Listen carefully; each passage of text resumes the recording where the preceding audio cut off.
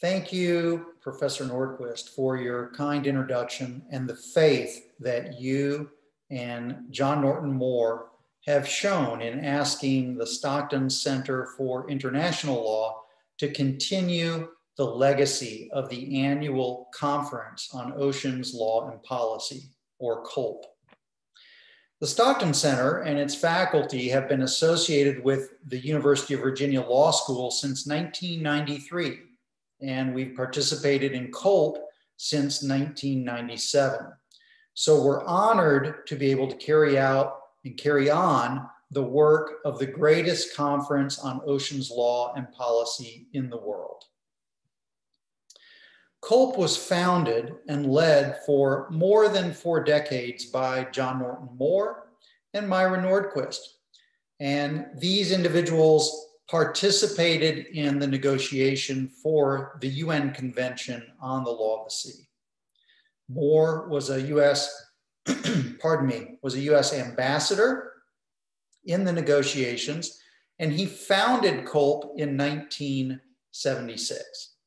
In addition to the annual conference volume, the Oceans program at Virginia published the article by article definitive analysis of UNCLOS, the seven volume Virginia commentary. The project was funded by over $1 million in grants and was uniquely international in that it involved many of the leading law of the sea negotiators at the third UN conference from 51 countries, preparing a detailed, comprehensive, authoritative analysis of one of the most important agreements in history. The commentary analyzes the 320 articles and nine annexes of UNCLOS, as well as the subsequent implementing agreements on Part 11 for deep seabed mining, and on straddling and highly migratory fish stocks. The commentary has been cited in a number of judgments issued by prominent international courts and tribunals, such as the International Court of Justice and the International Tribunal for the Law of the Sea. The commentaries have been viewed as authoritative in at least nine major international law of the sea related disputes, including the motor vessel Saiga case, 1998, the Southern Bluefin Tuna case, 1999, the Mox Plant case in 2001, and the 2013 Whaling in Antarctica case. John Norton Moore is a mentor for everyone who has worked on or studies the law of the sea in a meaningful way within the US government and indeed in global academia over the past 45 years. And if we succeed at the Stockton Center in continuing this legacy, it will only be because we stand on his tall shoulders. Likewise, Myron, as Associate Director of COLP, has led the organization of the annual conference and production of the uh, conference volume of papers. And I'm pleased to say that he will continue in that role as a distinguished fellow in the Stockton Center, supported by Judy Ellis. The stature of the COLP program is demonstrated by the prestigious Law of the Sea organizations that have joined in this effort in the past. The annual conference has been co-hosted with the Food and Agricultural Organization in Rome, the International Seabed Authority in Jamaica, the International Maritime Organization in London, the International Tribunal for the Law of the Sea in Hamburg, the Foreign Ministry of Indonesia, and for its 40th meeting, the center teamed in an unprecedented event with the United Nations Division for Ocean Affairs and Law of the Sea at the UN headquarters in New York. The conference has also been held in Beijing in 2018 in collaboration with the Ministry of Foreign Affairs of the People's Republic of China. The 2019 conference was co-sponsored by World Maritime University and the Nippon Foundation, and it explored marine biodiversity beyond areas of nat national jurisdiction in light of the efforts to draft a new implementing agreement for UNCLOS. This year's conference was scheduled originally for 2020, but as the pandemic has required us to shift it, and Myron has said that it was postponed until now. We are honored for this 2021 conference to be co-hosted with the Japan Institute of International Affairs, the Sasakawa Peace Foundation, World Maritime University, and the Ocean Policy Research Foundation.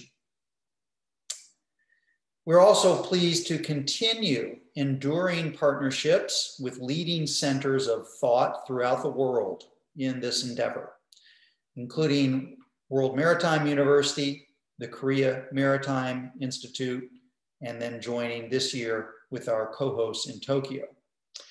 The Ministry of Foreign Affairs of Japan has been a global leader in progressive development of oceans law and policy in numerous diplomatic engagements, promoting sensible solutions to political, economic, and military uses of the sea that build security and stability in East Asia and throughout the world.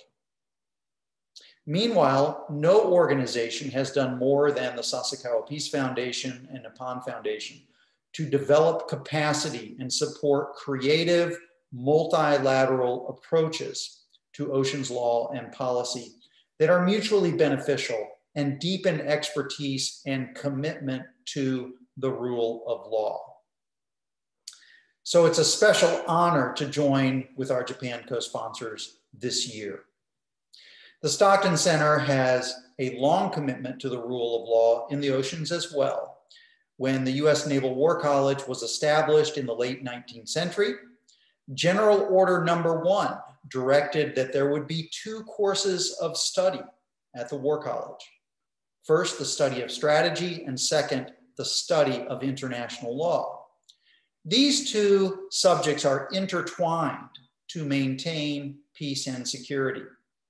In 1895, the International Law Program at the Naval War College began publication of International Law Studies, ILS. ILS is the oldest journal of international law in the United States and ranked among the top 10 of international law journals in the world and number two in national security law.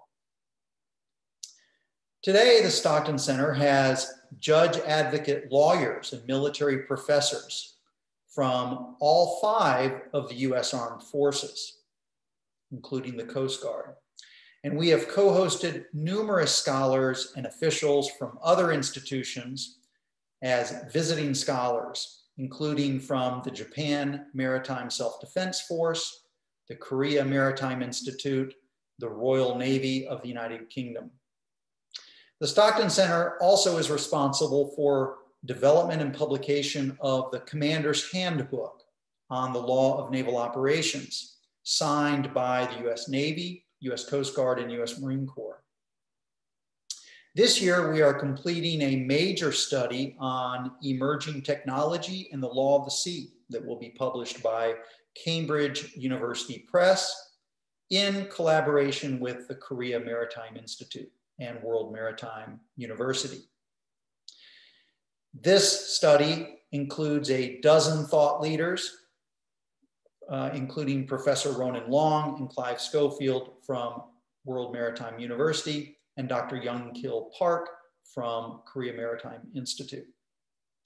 We look forward to continuing the annual Conference on Oceans Law and Policy and production of the annual conference proceedings we appreciate the strong legacy for that franchise that has prospered under the care of Judy Ellis, Judy Ellis, and with the leadership of Myron Nordquist. This year will be the 45th volume of that series. We're honored to take the helm for COLP and to be successful we will rely on strong partnerships. We hope to revitalize and energize co-sponsor relationships with past supporters of COLP, and we seek to build new and continuing partnerships with organizations and institutions. Toward that end, we are in discussions with several law of the sea and oceans policy think tanks and organizations around the world to ensure that COLP has a healthy and enduring support going forward.